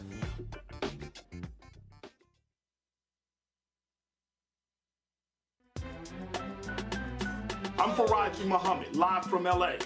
And this is The Culture. The Culture is a two way conversation. You and me. We talk about the stories, politics, the good, the bad, and the downright ugly. So join our community every day at 3 p.m. Eastern and let your voice be heard. Hey, we're all in this together. So let's talk about it and see what kind of trouble we can get into. It's The Culture, weekdays at 3, only on the Black Star Network. Fanbase is pioneering a new era of social media for the creator economy. This next generation social media app with over 600,000 users is raising $17 million, and now is your chance to invest. For details on how to invest, visit startengine.com slash fanbase or scan the QR code. Another way we're giving you the freedom to be you without limits. Hey, what's up? It's Sammy Roman. Hey, it's Jawn Murray, the executive producer of the new Sherri Shepherd Talk Show. It's me, Sherri Shepherd, and you know what you're watching Roland Martin Unfiltered.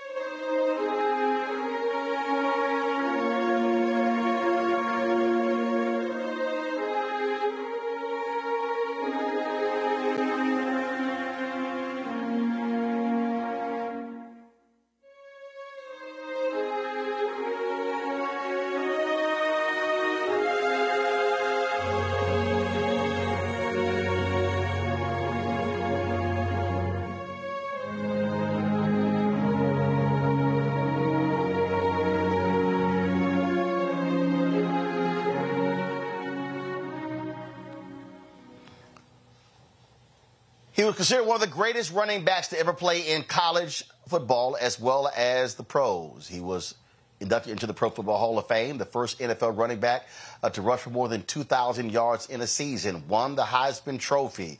O.J. Simpson had that smile. He was in movies, he was in commercials. He was the it guy until he went on trial in the early 90s for killing his ex wife, Nicole Simpson, and her friend Ron Goldman. He was acquitted in 1994 of the brutal slayings.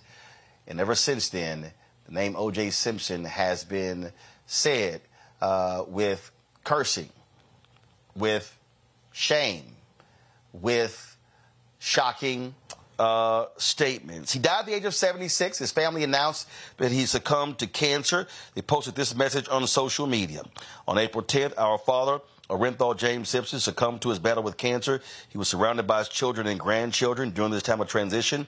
His family asks that you please respect their wishes for privacy and grace the Simpson family. He was nicknamed the Juice. As I said, broke numerous records, uh, but it was that case, many call the uh, murder trial of the century, uh, that changed America's view of O.J. Simpson.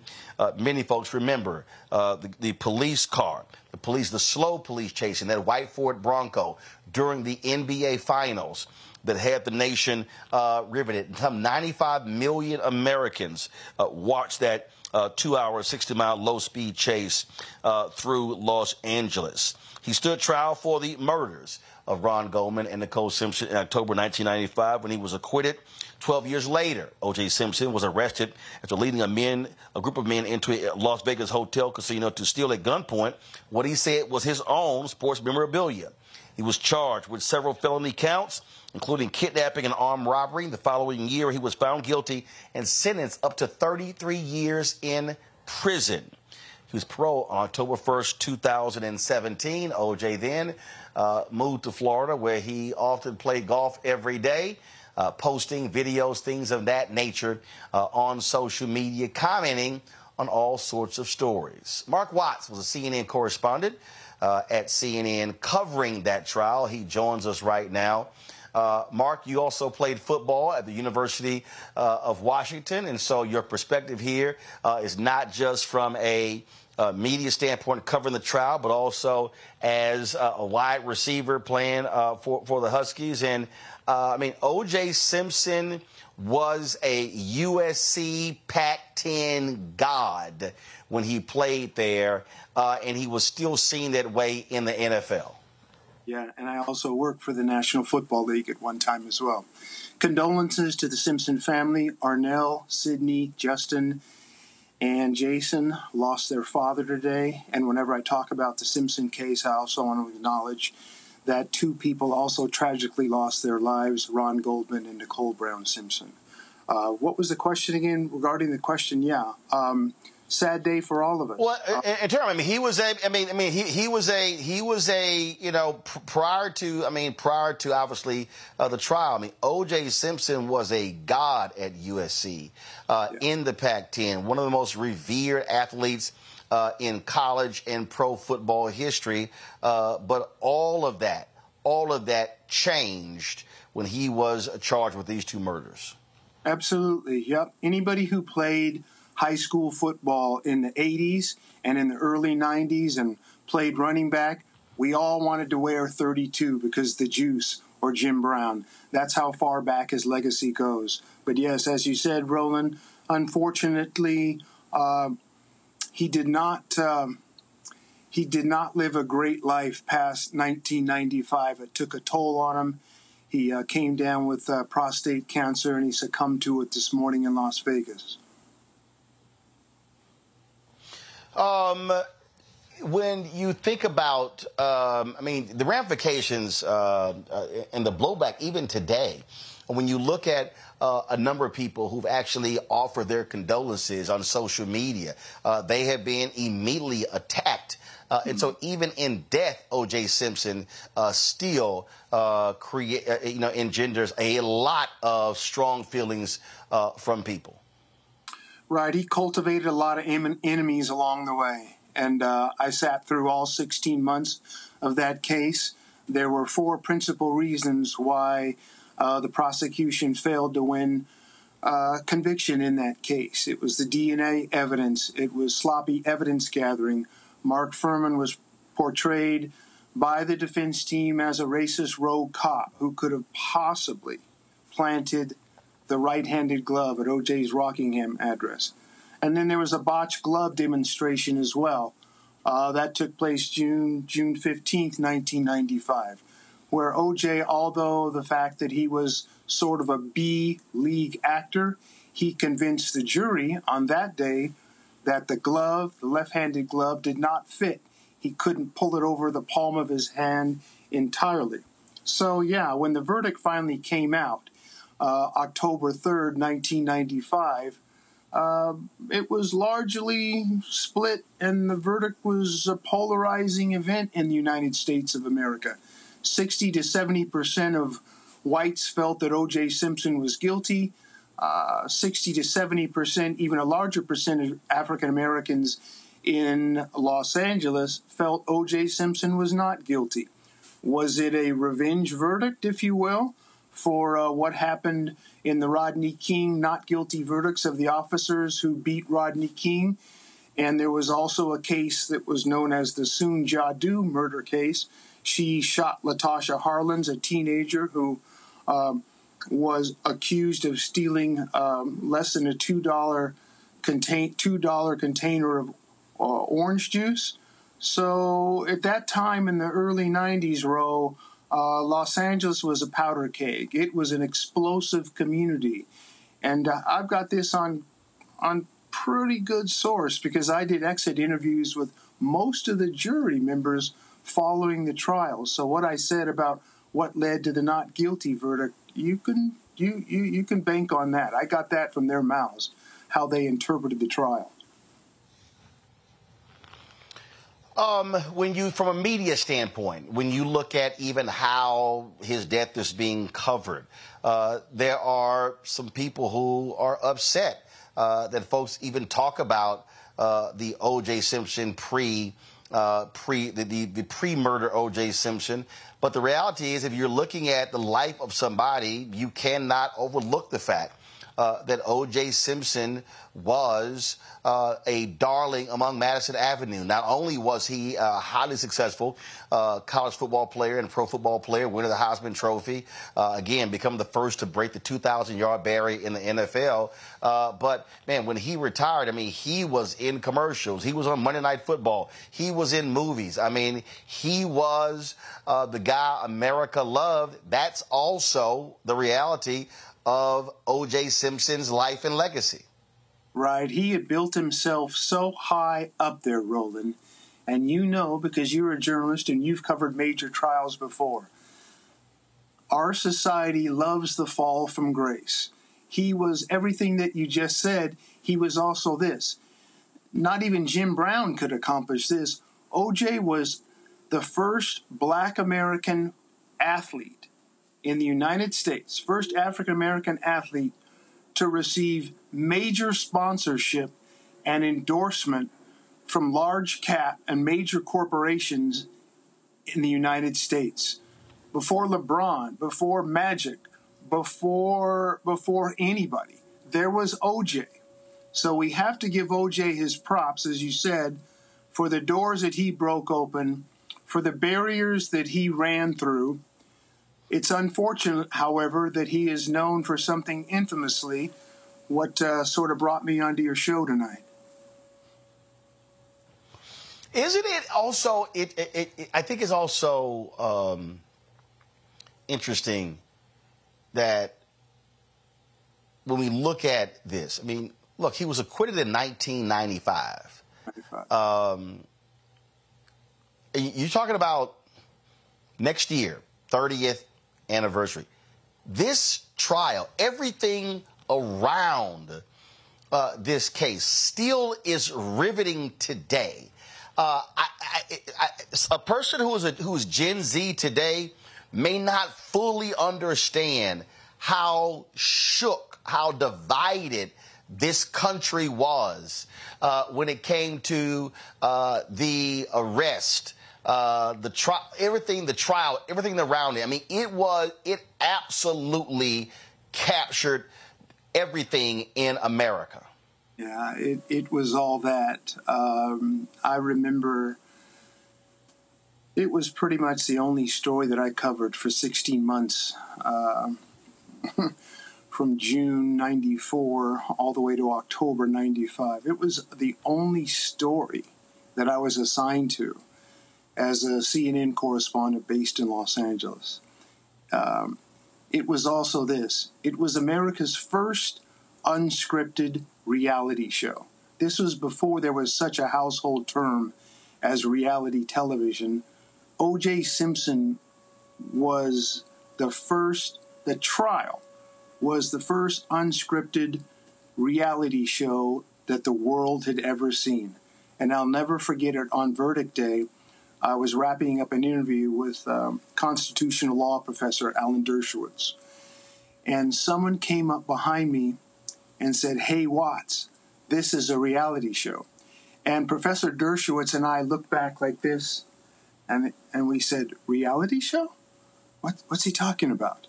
And uh, I excused Professor Dershowitz because he had to get upstairs uh, because the verdict was about ready to be read. But yeah, uh, it was all that.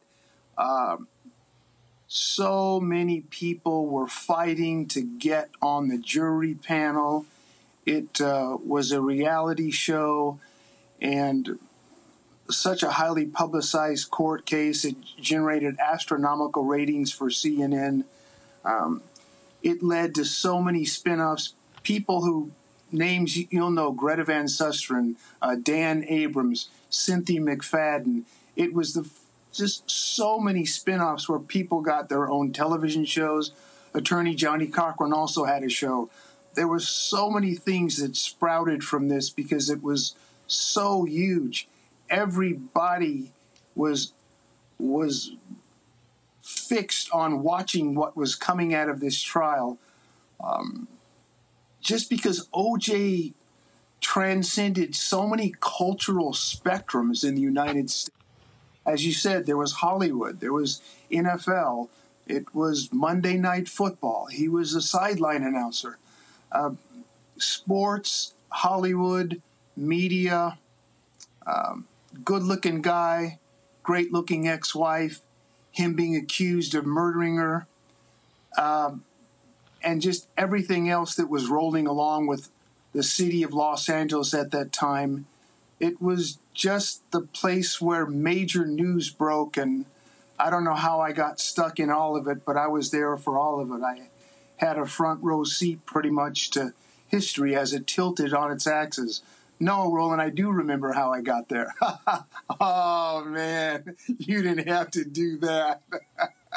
Come on now. Oh, Come on now. Now, look at that. I've aged like fine wine. I, st- I think I gave you those glasses, didn't I? but yeah, got, that got, was got, uh, June got, 13th. got, that was got, pretty much had, had, positioned. had to go into the crates. yeah, that was uh, June 13th. Uh, I was outside OJ's house at 425 Rockingham. That was in Brentwood, uh, well to do western suburb of Los Angeles. And yeah, I was positioned outside his house for about 12 to 15 hours, all the way until the Bronco chase on June 17th.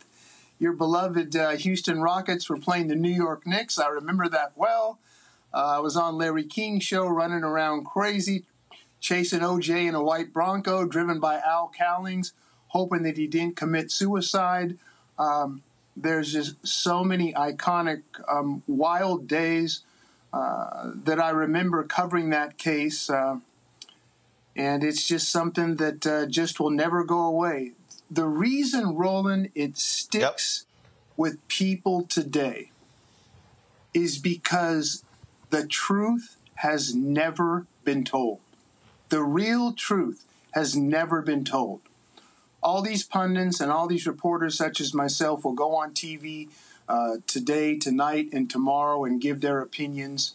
But the real truth has never been told. And I believe there is one single objective factual truth.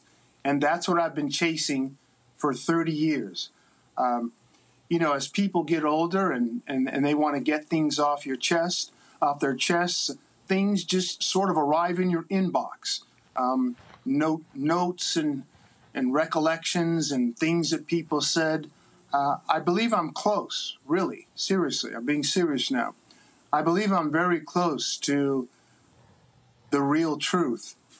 Um, and when I get it, I'm going to come to you because you're my favorite journalist, of course, and we're going to talk about it um, because that's what people want to know. Even the 67% of African Americans across the country who felt that O.J. Simpson was not guilty, there's a shred of doubt like, hmm, what happened? What happened to the murder weapon? Why was there not more blood inside the Bronco? What happened to the bloody clothing? How could a guy supposedly kill two people that fast, get back to his house, um, get in a limousine, go to LAX? But here's one fact I'll leave you with. I don't know how much time we have. Um, something has never sat with me, and it, it hasn't sat with me for 30 years. Um, O.J. Simpson was strip searched down to his underwear on June 13th, one day supposedly after he allegedly killed his ex wife and Ron Goldman. It was a bloody crime scene, Roland. I saw it with my own two eyes. It was a bloody mess. There was some serious altercations that took place. Um, but what I can't figure out is if O.J. Simpson supposedly carried out those two murders, and Ron Goldman had defense wounds on his hands and he had slash wounds on his sneakers. When they examined O.J. Simpson on June 13th, the very next day, remember, he did not have a single cut, abrasion, or bruise except a small cut on this finger on his left hand. Now, Roland, you and I have scrapped. We've been in some scraps before. I'm going to get a few in, you get a few in. You might win the fight, I might win the fight, but we're going to walk away from a fight bruised. We're going to have a cut. We might have signs of trauma. He had none of that on June 13th. And that's what's puzzled mm. me for 30 years. And that's what's pushed me as a journalist. Although I do have an opinion of what happened, I want to find the truth. I want to find that one single truth, that incontestable, factual truth, so I can tell the world what really happened. Marc Watts, we appreciate it. Thanks a lot.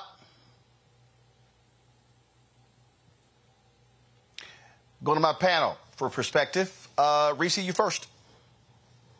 That was a riveting interview, Roland. Um, I have to say, for me, I grew up in Los Angeles. So I lived through LaTarsha Harlan. I lived through Rodney King, Reginald Denny as well, and the OJ trial. And so I want to speak up for Black people during that time, I know a lot of people um, have opinions about his guilt or innocence, particularly from a 2024 lens. But I want to say that while there might have been some Black people who looked at it as a get back, I believe as a person who grew up in LA, who followed the trial as a Los Angeles resident, that a majority, I would dare say, and Marc uh, just gave the statistics about the number of Black people who thought he was innocent or not guilty.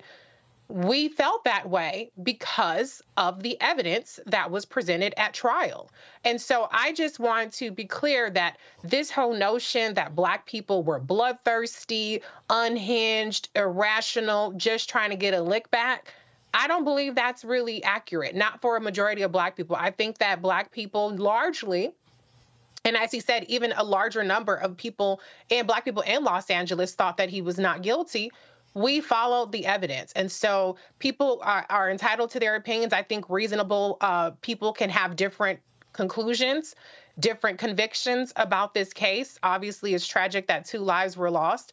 But I just want to, for me, bat down the idea that Black people are just unhinged, irrational, just loyal to OJ strictly because he's Black, as opposed to the fact that this was a trial that captivated our area for 16 months. It was followed very closely. And look, if the glove don't fit, you must have quit. At the end of the day, the prosecution didn't do their job. Johnnie Cochran and OJ's team did their job. We'll never know, I guess, what happened. He didn't go down confessing to anything. And, you know, we don't know. But I just don't like the narrative. And I think it's very easy in 2024 to be on your high horse about your convictions, about whether he's guilty, or even if you feel like he's not guilty. But back then, I'm glad that you provided that historical context about how the environment we were in and the way that the actual case was presented at the time and how we drew our conclusions. Lauren. Um, I think what the, the case always represented was it was really the first time ever in a major, major court case in a major way that a black person sort of got away with murder, quite frankly. and that never happens. That was probably the first time in American history that that, that had ever happened. And the reason he got away was because he had the resources to represent himself with some of the best attorneys in the country. Barry Scheck at the time, who would later uh, found the Innocence Project, was the foremost attorney on forensics. He had F. Lee Bailey, he had Alan Dershowitz, and of course he had the great Johnnie Cochran. And that's unheard of for a black defendant anytime, any place. Uh, it, it, upset the natural order of what our history has been in the United States. Uh, people get away with murder all the time. We still sit here not knowing how Natalie Wood died. Uh, we still sit here with the story of Byron de la Beckwith uh, who sat around, you know, walking around for years, uh, no justice served. Uh, obviously, Carol, uh, Carolyn Bryant. Uh, people get away with all sorts of things, but he was the first black guy that got away with it. And I think it was quite noted by everybody at the time, but I don't know that they really articulated it in that way at the time. And that documentary uh, OJ uh, made in America really goes into a lot of the sort of dynamics that are really not talked about in any nuance when it comes to OJ Simpson. Uh, but it was a it was a terrible thing though that two people were murdered, uh, and it, it's not something that we should just you know shrug off. But I think we do have to understand the perspective. Uh, we have always had to deal with as African Americans the lack of justice uh, when uh, Lyndon Johnson told the FBI to go find uh, Schwerner, Goodman, and Chaney, they went down there and found found the bodies of of other people who had disappeared in the South because they'd been lynched and nobody cared. So we, I think, as Black folks, have known that history forever. I think white folks don't know that history. And when OJ got away with it, it was a huge thing uh, because of that primary reason. That wasn't supposed to happen. And it happened right. because he had the money and it happened because, quite frankly, his attorneys were way better than Marcia Clark and and what was the other dude's name? Uh, uh, it was Christopher Marcia Darden. Uh, Chris Darden. Thank you, and Chris Darden.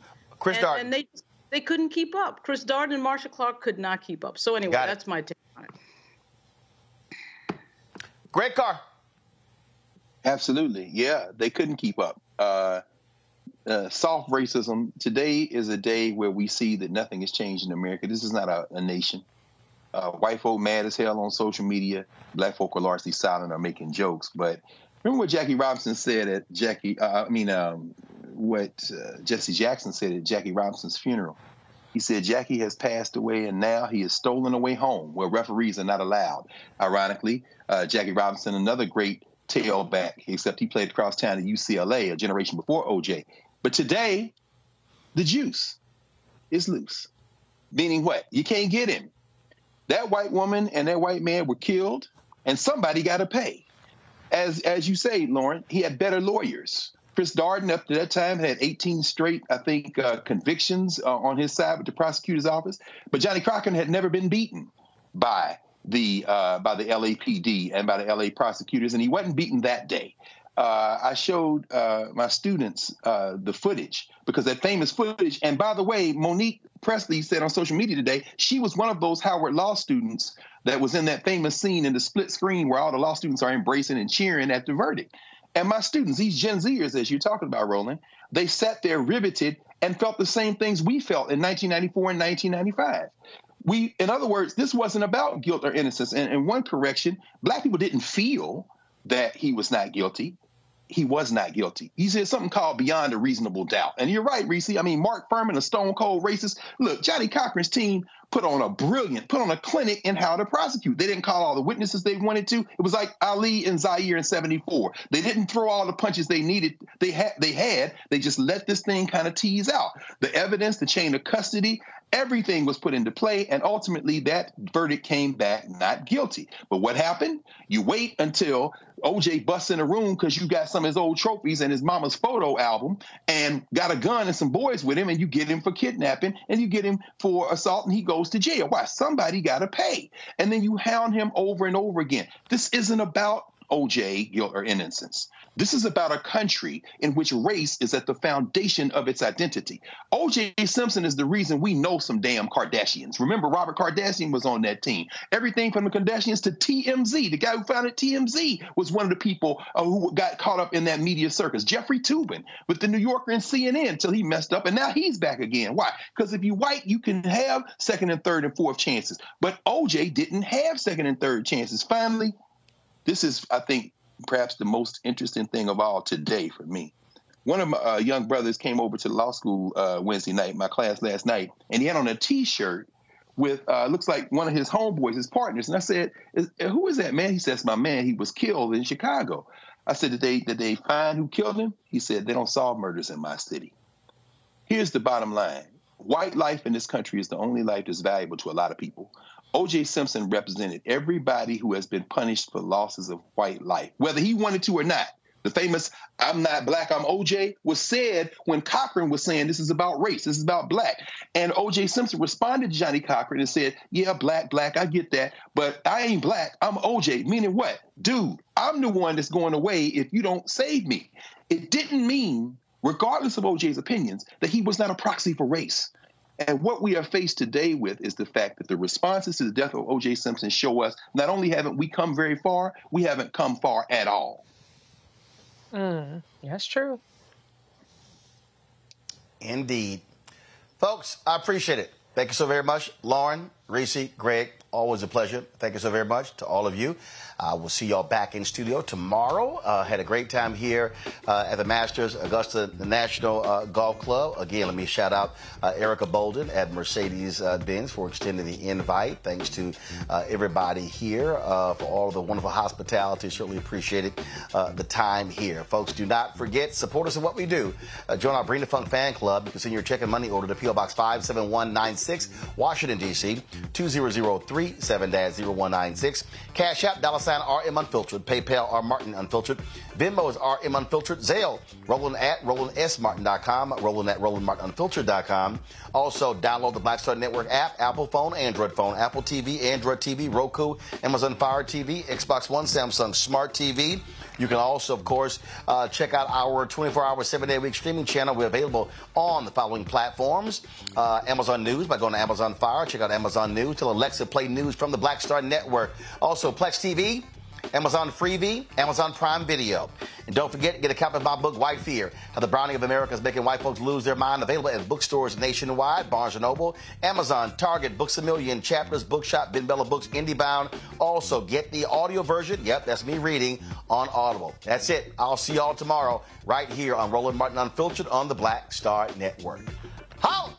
Black Star Network is here. Oh, no punch! I'm real um, revolutionary right now. Uh, thank you for being the voice of Black America. All momentum we have now, we have to keep this going. The video looks phenomenal. See, this difference between Black Star Network and black owned media and something like CNN. You can't be black owned media and be scared. It's time to be smart. Bring your eyeballs home. You dig?